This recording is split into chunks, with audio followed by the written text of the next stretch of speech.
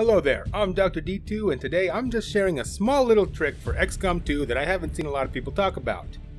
It has to do with the character pool and how to get certain unique characters into your game. I have managed to find three unique characters you can add in, as you can see here. All you have to do is go into import character and go into demos and replays, which will allow you to get any character from old missions who you've played with. This is an easy way to get characters like Jane Kelly, even Central if you played the tutorial mission, and Osei and Ramirez who die in that mission. Now the unique thing about this is that adding Jane Kelly and adding Central, which I've already added, I've added second copies of them to my character pool, you can get something unique with them. Jane Kelly, of course, comes with a unique outfit and a personality. Despite what it says here in the American English, she actually a very timid and unique personality in game, as long as you don't edit anything.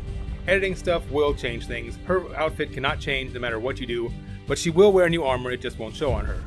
The same can be said for Central over here. Now, the third unique character requires a bit of use of Central. All you have to do is know that, for one thing, you can't change his face. If you do, it will default to a normal face.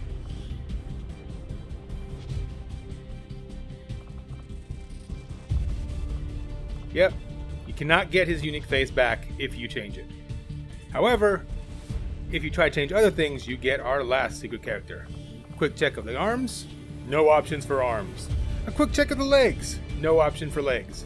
Well, let's leave that right now, go back in, and say hello to Phantom Limb. You can do this from here, you can do this from inside a mission, as long as you're editing the character. If you, if you edit those, this happens. If you don't edit them, you'll be normal. He will run around missions with no arms, no legs, just being the limbless bastard he is. Have fun with that. Let's see if the same thing can happen to Jane. I actually had not checked that. Yes, we have Lady Phantom Limb. Huzzah! So if you want to play an army of arm and legless soldiers fighting against the aliens, now you know how! Anyway, hope this helps you have a little bit of fun with all the trouble this game has been giving people. If you like this, you know what to do.